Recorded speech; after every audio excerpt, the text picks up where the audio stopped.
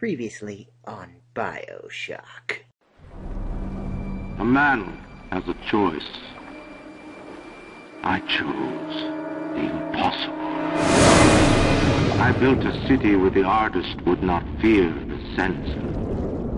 Where the great will not be constrained by the small. Where the scientist would not be bound by petty morality. I chose to build rapture.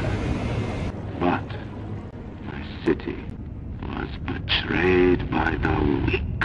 They told me, son, you were born to do great things. They were right.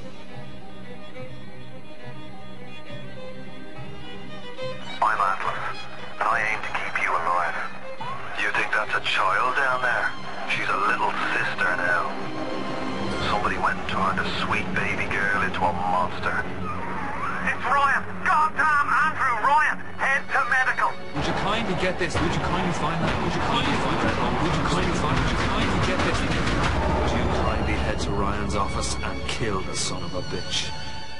Did that airplane crash? Or was it hijacked?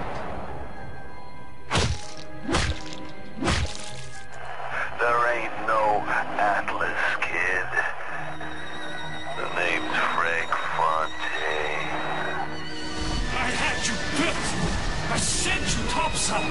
I called you back, showed you what you was, what you was capable of. Even that life you thought you had, that was something I dreamed up.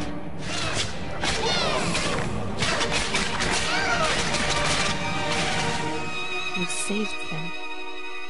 You gave them the one thing that was stolen from them. A chance. And now on Bioshock 2.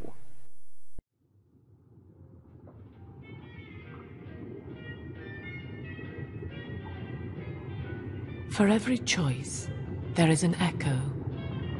With each act, we change the world. One man chose a city free of law and God. But others chose corruption, and so the city fell. If the world were reborn in your image, would it be paradise or perdition?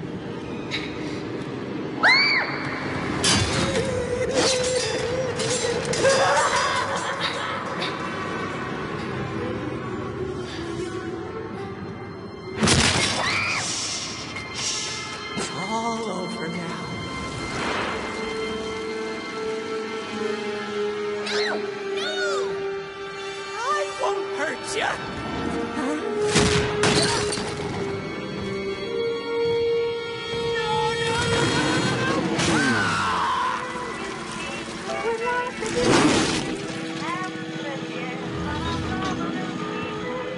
Daddy, Daddy, won't you?